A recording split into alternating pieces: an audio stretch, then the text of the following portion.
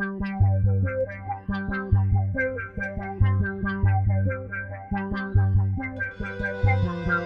I'm Leilani Munter. I'm a race car driver and an environmental activist. Obviously, a race car driver, you wouldn't expect a race car driver to be, you know, at a solar conference. I'm a big supporter of electric cars and renewable energy and solar power.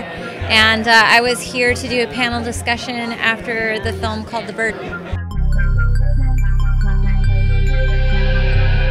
This film helps, I think, really tell the story of why the Defense Department is doing what it's doing to really enter the clean energy space.